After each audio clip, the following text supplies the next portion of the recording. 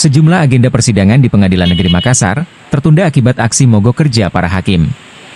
Aksi mogok ini buntut dari aksi solidaritas hakim se-Indonesia yang menuntut adanya kenaikan gaji. Pantauan tribun di kantor pencari keadilan Jalan Rakartini, Kecamatan Ujung Pandang, Makassar ini, sejumlah ruang persidangan kosong. Tidak terlihat adanya aktivitas persidangan di bangunan pengadilan yang merupakan bagian dari cagar budaya tersebut. Humas Pengadilan Negeri Makassar, Sibali mengatakan, Kosongnya persidangan sudah menjadi kesepakatan bersama para hakim terhitung mulai 7 hingga 11 Oktober 2024.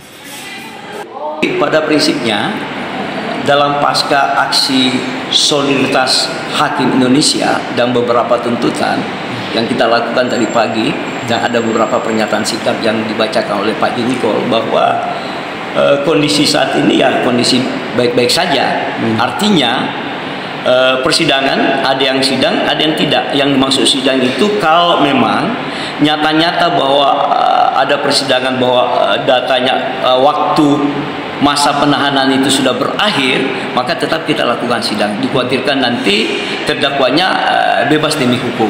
Maka majelis hakim tetap melakukan uh, persidangan.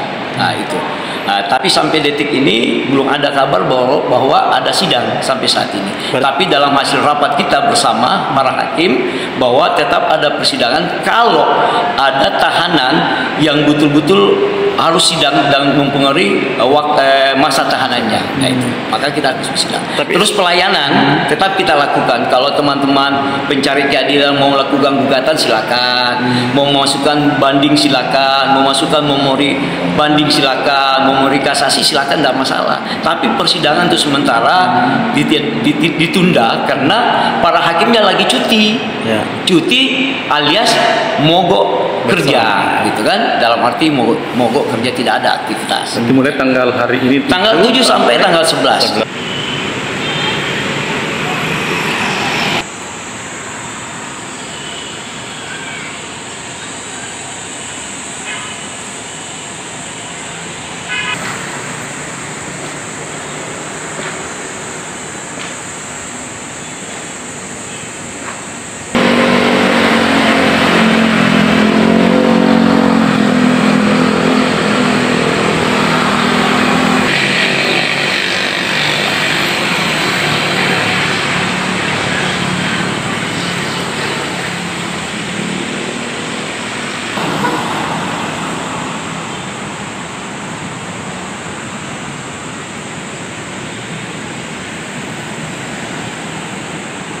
Download Tribun X sekarang.